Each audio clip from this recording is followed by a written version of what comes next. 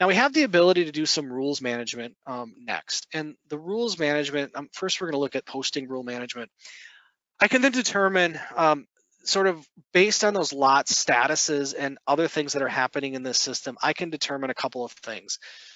What do I want to do with assembly consumption, pick, positive adjustment, production, sales, shipment, transfer shipment, as well as item availability? And I can determine um, rules uh, for those calculations essentially. And I'm just going to start with item availability because this is a common question that we get.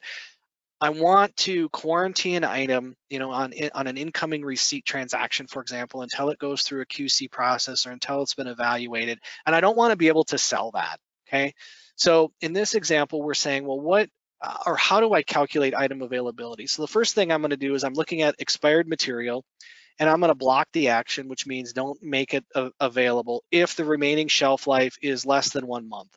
So you can see I can do calculations against other values that are on the lot, not just maybe the status. So this is looking at an expiration date.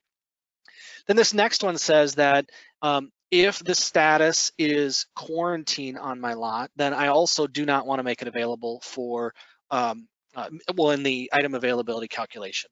So you can see that we've got the ability to set up rules again based on those statuses or, or other um, values on the item in this case to make or to determine what my item availability is. So rules management allows me um, to do that sort of thing.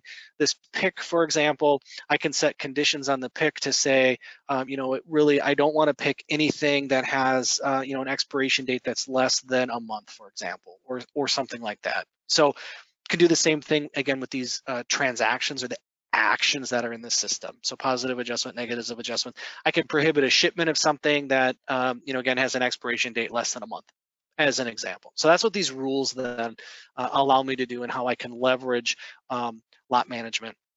The other piece on the rules um, is actually uh, modification rules. So I'm gonna look at um, modification rules on the lot. And what these rules are set up to do is to determine um, who and under what conditions can I make changes to lot information. So lot information is not static. We can we can change things on it like expiration dates example, and I'm going to show you that a little bit later. But what this is going to do is I can create rules to limit those activities based on certain conditions. So for example, here I've got this expiration date, it's active.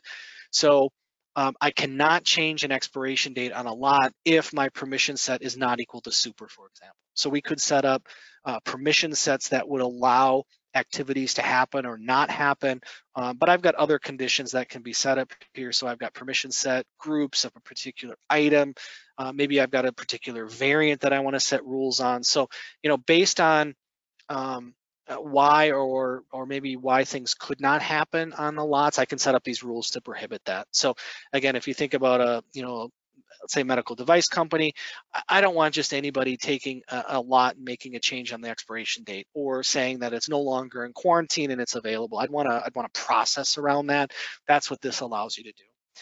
What we can then do is um, use the out of the box, out of the box um, change log functionality that's a part of Business Central so that we can then, you know, in more detail track things that are happening. So even if I am a super user and I do have the ability to change an expiration date, change log then would allow me to see you know, who made that change, what did the, the value change from and to, and there's actually some other things that we can use with lot management to do that as well. But um, again, rules management is gonna be that uh, line of defense just so that people can't willy-nilly do whatever they wanna do.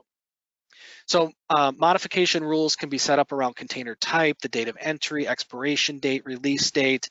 Um, I can, you know, set the maximum number of times you can maybe change the expiration date and then around statuses of an item.